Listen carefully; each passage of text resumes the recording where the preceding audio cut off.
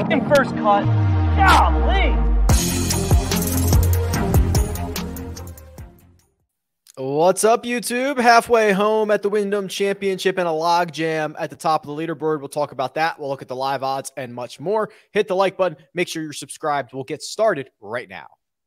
Welcome to the First Cut Podcast. I'm Rick Gehman. That right there, Patrick McDonald. Patrick, good to see you, bud. Yeah, it's been a while. Like we said uh, backstage, it's good to see you too. Uh, got a good one brewing down in uh, Greensboro. Uh, they're lining up lots of guys uh, very close to the top of the leaderboard. We are uh, we are hot right now with a couple of guys still out on the golf course. So let me talk about the ones that are actually finished. And there are three in the clubhouse at nine under par through two rounds. Brandon Wu, Ryan Moore, and the man, the myth, the legend, the f- artist formerly known as Ju Hyung Kim, Tom Kim. How about this guy? I mean, how, how can we not talk about him, especially after his start, his quadruple bogey? Uh, I think Justin Ray said no one's ever won a tournament after starting with quadruple bogey. So history is on the line in Greensboro. And I mean, there's kind of a big team event here next month. I mean, he's got to be inching towards that. You look at the world rankings, this guy's number 34, I want to mm-hmm. say. You got to think he's almost a lock for uh, Quail Hollow, you think? All right, so there's a lot to break down here. As you mentioned, Patrick, he makes a quad out of the gate. That's an eight on the par four first. He battles back and ends up shooting a 67 on Thursday. He follows that up with a 64 on Friday. That's how we've gotten here. Now, unless his name is going to be atop the leaderboard on Sunday night, he is not going to be participating in our FedEx Cup playoffs. That's the only way for him to get in is to earn a membership now, which the only way he could do that is via victory. Um, and then you're right. Like we could have a situation where he's on the President's Cup team and didn't even participate in the playoffs.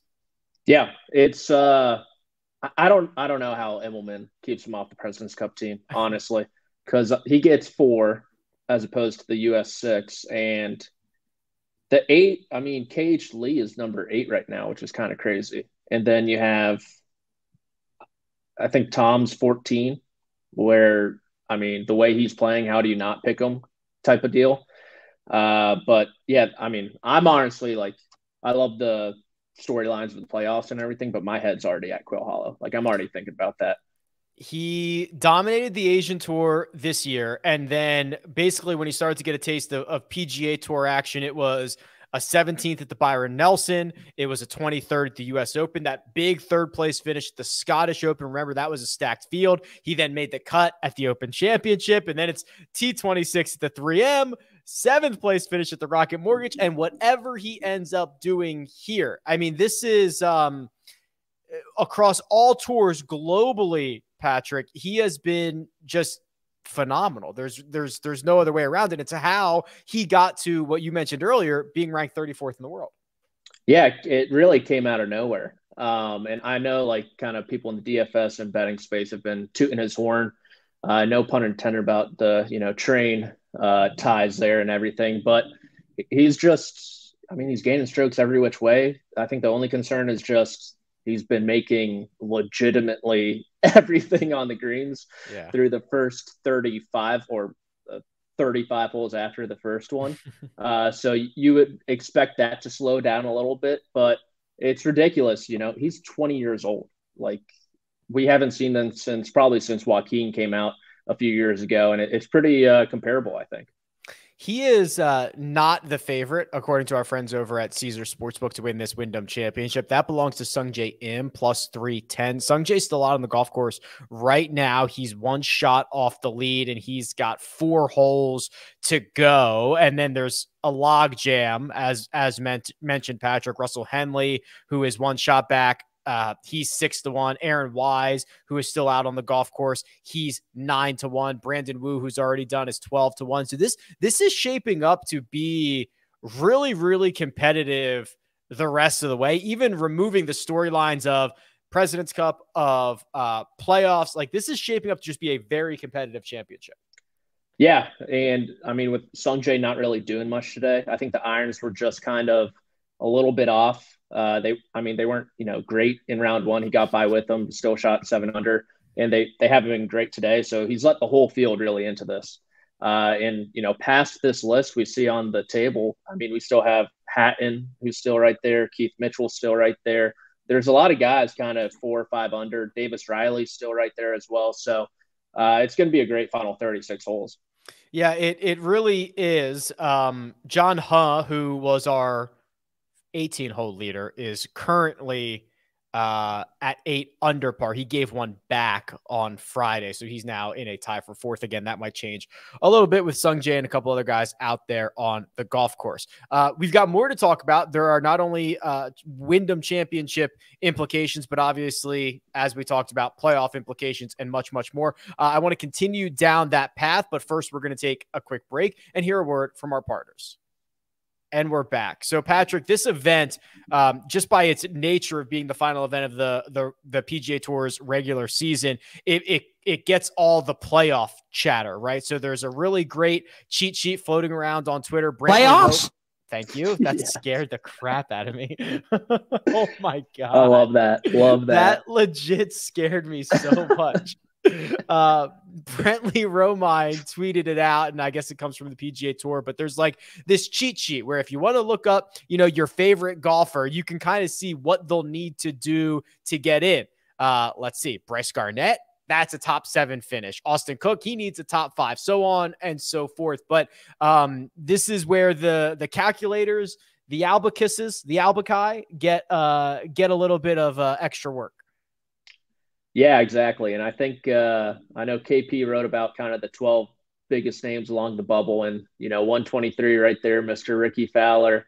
He kind of made a run there uh, to end the morning wave today, but just couldn't get enough going. Uh, a lot of missed putts, kind of on the low side. Uh, almost chipped in for birdie on I think the seventh hole, but yeah, I think you know, Data Golf had him still around 70% to make it into next week. It's dropped all the way to 55, I think uh, just you know after his play has been completed. And then Webb Simpson right now, who's still on the golf course, probably going to miss the cut. I think he's dropped to number 125, so that's another big name that could be missing the playoffs. Uh, and then you know if you want to look past kind of the postseason, there's still a ton to play for between you know making it inside the top 150, top 200, and uh, so forth. So even if these guys are playing this weekend and they're not making their way uh, to Memphis next week, there's still a lot on the line. Yeah, so if you're looking at this chart, which Jacob has up on on YouTube, so as mentioned, Rickie Fowler, uh, he gone, he's gonna miss the cut here. Uh, Matt Wall, so he was 123 coming into the week. Matt Wallace was 124. He's also going to miss the cut. Those two guys do not uh, control their own destiny here. Austin Smotherman still out on the golf course, struggling a little bit, currently inside the cut line. So that's 123, 124, 125. Guys on the other side of the line are trying to put a little pressure on. Max McGreevy, 126, who needs at least a 46th place finish. Well, he's T16 right now, Patrick. And you start to look even further. Um, you know, Danny Willett Unfortunately, he's not going to make the playoffs because he's on the outside already and he's going to miss the cut. Justin Lower, he's right now inside the number. I mean, like this is it is um it's heating up as they say. yeah, it, it's getting a little a little hot in here. Some of these guys, you know, there might be some big putts come Sunday that uh will make, make or break their season. I remember it was uh, Justin Rose last year when Chesson Hadley had the hole in one, the great final round and whatnot. Uh, Justin Rose was the guy on the outside looking in. So it's uh, a little different where there's a ton of rookies kind of right there on the line with Smotherman, McGreevy, Lower, Hardy. Uh, and then you're kind of mixing them in with these veterans and Willett, you know, Wallace and Fowler. So it's a really cool mix uh, that that I don't think we kind of see every year. Uh, and then kind of the name I'm looking for, just because you know he's a fan favorite, Harry Higgs. Uh, he should be making the cut, 138 real outside chance to make it into the playoffs. Uh, you know, he is T36 right now. Still has six holes left in his final or uh, second round. So needs a big weekend. Yeah, uh, he's got to get up to 13th though. That's you know, it's not impossible. It, it's, it's not definitely it's definitely doable. So he's kind of the name that you know I have started on my app over the weekend. You know, hopefully he can make a move because it's so jammed, he is only two shots out of that, right? He's three under right now and he's still on the golf course. So that's T37. Well, five under is T16. Like that's that's how jammed up they are. So it it's going to be pretty wild the rest of the way. One other note here. Um, you mentioned him briefly, Webb Simpson. Uh, he barring barring Webb Simpson rolling in this 27 foot eagle putt and then birdieing 16, 17, and 18. All of that has to happen, or Webb Simpson is going to go home and he is going to miss out, right? He was outside. Where is Webb? He was outside the number coming in. Uh, no, he, he, was, was like 117. Yeah. yeah. So he would he would not have his own uh his own destiny in his hands there. But is it is it a bit more concerning that Simpson's struggling, goes to a place like uh Sedgefield where he's been absolutely dominant? Like it's just it's just been not Webb's year. Yeah, and like with his announcement of kind of assistant captain, I was like, oh, this guy mm-hmm. must be in like his 40s or something. He's still 36 years old.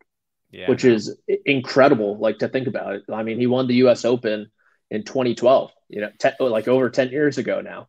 Uh, so yeah, it's, I mean, I hope he's still 100%. You know, he had that long injury, didn't play a lot in the spring. He's come back, definitely has shown some signs of life. He played kind of well at the Valspar, kind of well at the Travelers Championship. Uh, but, you know, ever since kind of Scotland, it's been really bad. Uh, so it, it, you have to be concerned. And it's kind of stinks that he isn't going to be playing out Quail Hollow in the President's Cup and just like looking back to that 2019 team and seeing who was on it, it's kind of jarring, you know, like Gary Woodland, mm. Rickie Fowler, Webb mm. Simpson. And it's it's like it's crazy just how much can change in such a short amount of time in this game. The torch has been passed, uh, it appears. So here's what we've got going on. A very steamy cut line with a very steamy top of the leaderboard, uh, with a very steamy will you make the playoffs or not situation. So lots on the line. Uh, we will obviously be back after rounds three and four to break it all down. Sungjae just hit his ball into the hazard off the tee at uh, I believe that's 14 or 15. So that's Ooh. not that's not great. That's 15. Uh, a hole you want to take advantage of. So Sungjae might not end up atop the leaderboard after this round. We'll have to see how it goes. He's got a couple more holes, but Patrick, uh, always fun the people can find you on Twitter at amateur status, right? For all the hot takes. And producer Jacob does all the hard work behind the scenes. And you can find me at Rick Run Good. And we'll be back tomorrow night. Good luck. See ya.